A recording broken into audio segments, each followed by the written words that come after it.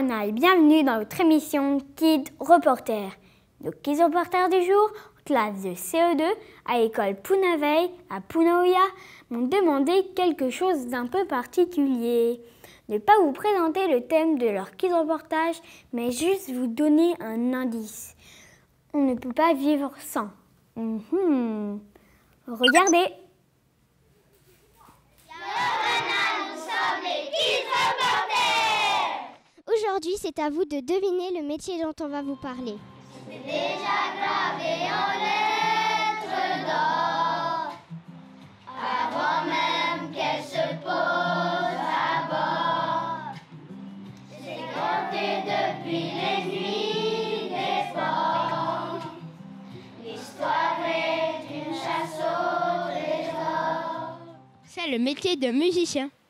Qui a écrit les paroles de cette chanson Qui a composé cette musique Qui l'interprète Vous l'avez reconnu, c'est Silvio Cicero. Il est auteur, compositeur et interprète. Mais ça veut dire quoi?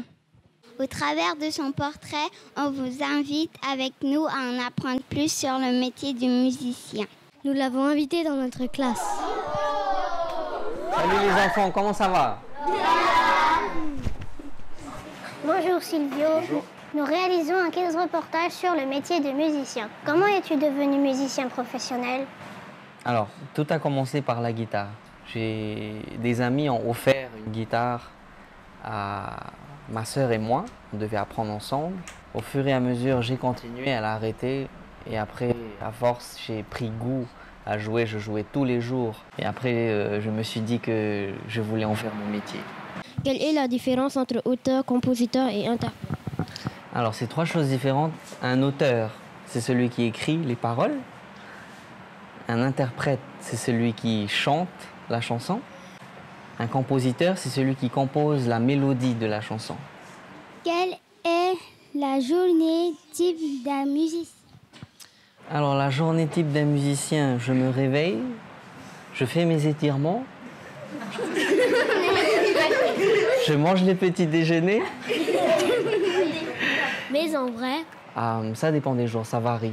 Je prends ma guitare, je joue, je répète avec les musiciens et parfois j'enregistre au studio. Donc ce que je vous propose, c'est d'aller au studio. Ça vous dit? Car un artiste professionnel a besoin d'une qualité parfaite. S'il veut que sa musique plaise au public et soit diffusée partout.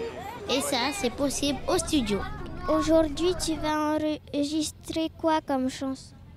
Alors aujourd'hui, euh, je pense qu'on va improviser parce que je pense qu'on n'aura pas le temps de, de bien enregistrer une chanson en entier. Euh, mais c'est vrai que là où on va aller, c'est là où j'ai l'habitude d'enregistrer euh, pas mal de mes chansons. Combien as-tu composé de, de chansons? Combien? Bonne question. Alors, je pense que j'ai dû en composer une cinquantaine. Mais c'est pas pour autant que je les ai tous sortis. J'ai sorti seulement les meilleurs. Ouais. Celle qui te plaisait le plus?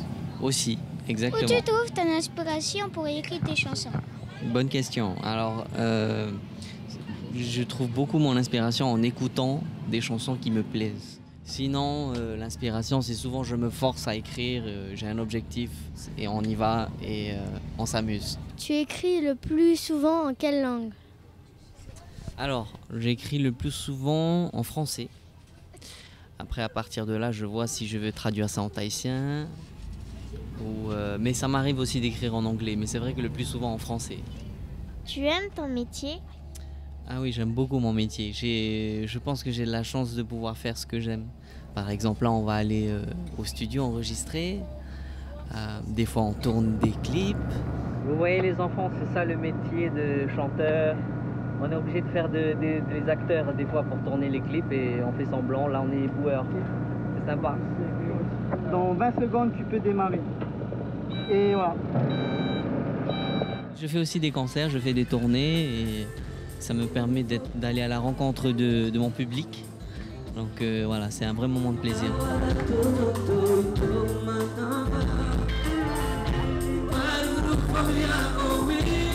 Des fois, j'enseigne aussi de la musique.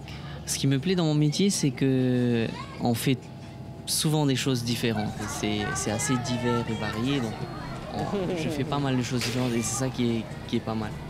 Il y a des choses qui sont imprévues aussi et, et c'est marrant. Bonjour Moana. Bonjour.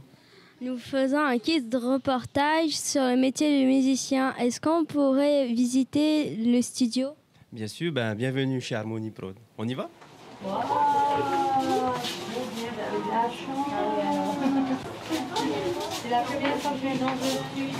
Le studio est composé de trois salles. Ah, La première salle, le studio A, c'est la salle de mixage qui est tout au fond. Euh, le studio B, c'est la salle, de- on appelle ça la cabine, la cabine voix, où les, où les musiciens enregistrent et tout. Et là, on se trouve dans la salle de, répé- dans la, dans la salle de répétition où les musiciens ben, s'entraînent avant de avant d'aller euh, euh, voilà, performer au concert et tout. Quoi. Pourquoi il y a plein de mousse autour de nous? Alors la mousse sert à, on va dire, à absorber le son en fait. Il ne faut pas que le- dans un studio, c'est important que le son ne, ne- ne résonne pas. Il n'y a presque aucune résonance et ça c'est important pour la qualité du son. Et c'est encore plus important dans la deuxième salle. La salle d'enregistrement qu'on appelle aussi cabine. Cette salle-là est utilisée pour, euh, pour enregistrer, on va dire, des, des artistes, quoi. Tout ce qui est instruments, percussions, batterie, guitare. Le studio va ainsi passer les plus grands artistes du Fénois, ou même des artistes qui veulent se lancer. Il permet aussi de réaliser des musiques pour des documentaires, des publicités. Et euh, cette salle-là est reliée à la, à la régie du coup. Et la régie, c'est un peu le cœur du studio. C'est de là que notre ingénieur du son, Moana, peut tout voir, tout faire, tout contrôler. Venez, vous pouvez vous approcher hein, si vous voulez. Je vous montre un truc, vite fait. Bon. Alors, tu appuies ici, il y a écrit Vegas. C'est simple, comme Las Vegas. C'est le bouton rouge qui est tout en haut. Vegas, voilà.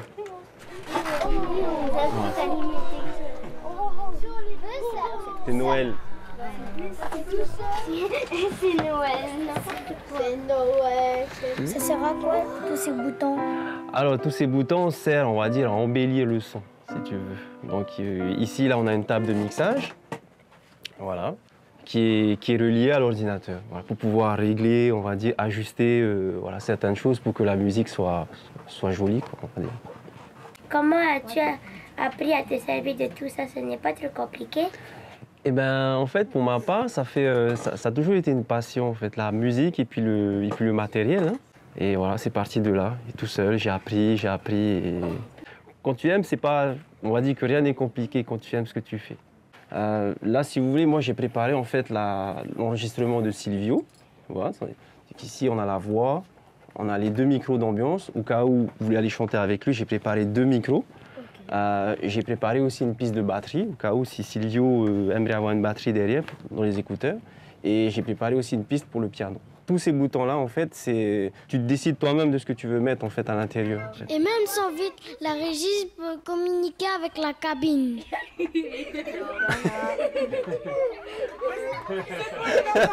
Excellent. Ils ont chopé la caméra. Ah, tu peux chanter une chanson? Vous voulez que je chante une chanson? Oui C'est 100 francs chacun, 100 francs chacun. Allez, venez, on va aller faire ça en studio alors.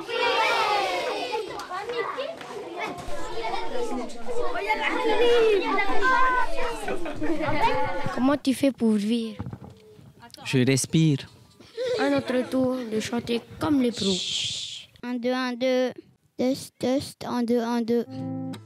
Attends, on va faire un test avant. Euh, Pardonne-moi. Chantez un peu un C'est en cours. deux. Trois, quatre. Pardonne-moi encore une fois.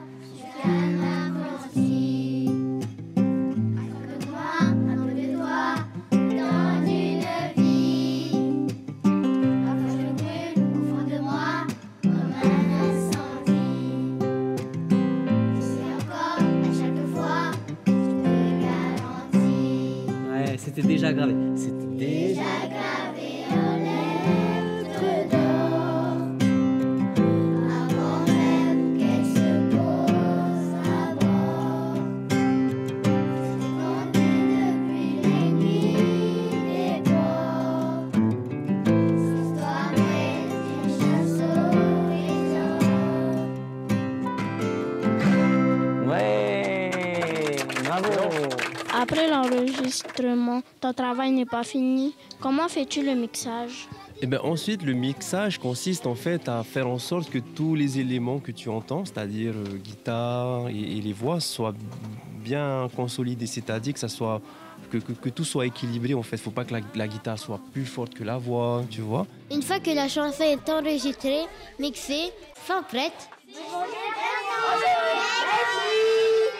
le travail de l'auteur-compositeur n'est pas fini.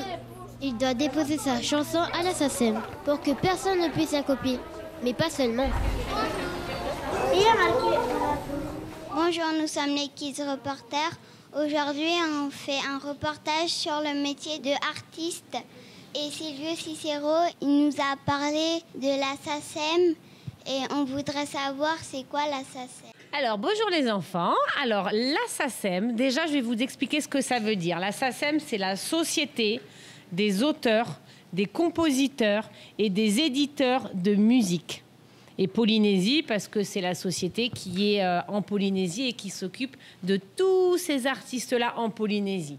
Créée en 2018, la SACEM Polynésie regroupe 500 auteurs, compositeurs au Fénois.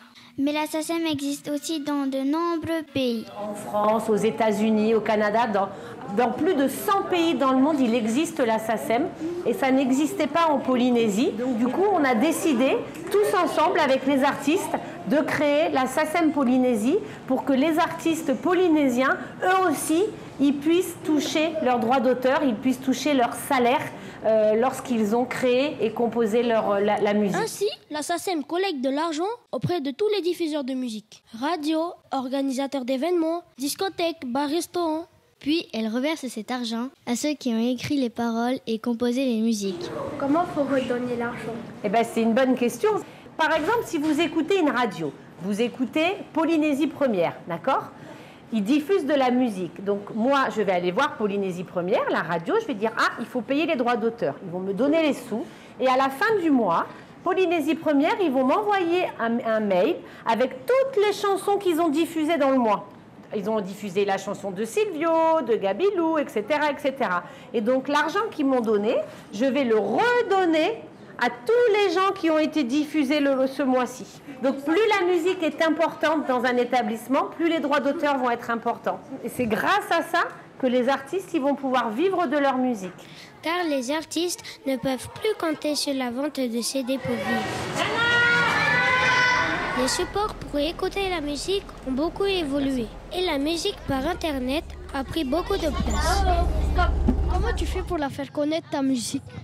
Alors, pour faire, une fois que j'ai fini une chanson, ce que je fais, je vais déposer avec ma clé USB dans toutes les radios. Après les radios, je sors sur Internet. La, la plupart du temps, c'est sur les réseaux sociaux, Facebook, Instagram. Donc, j'essaie de, de booster euh, et de promouvoir sur les réseaux euh, la chanson YouTube aussi. Et ensuite, c'est le public qui décide si la chanson est une bonne chanson.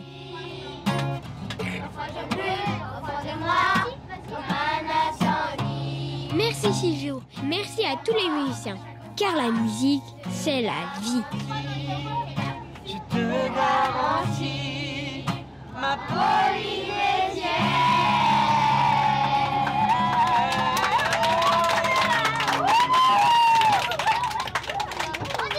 Merci de nous avoir suivis. Avant de nous quitter, voici la question du jour. Comment s'appelle un artiste musicien qui écrit les paroles, la musique et chante ses propres chansons? Réponse 1. Un polymusicien. Réponse 2. Un musicien multitâche. Réponse 3. Un auteur-compositeur-interprète. Si vous n'avez pas la réponse, revisionnez le reportage en replay sur le site internet polynésie.lapremière.fr et continuez suivre les Kids Reporters sur YouTube, Facebook et Instagram. À la semaine prochaine!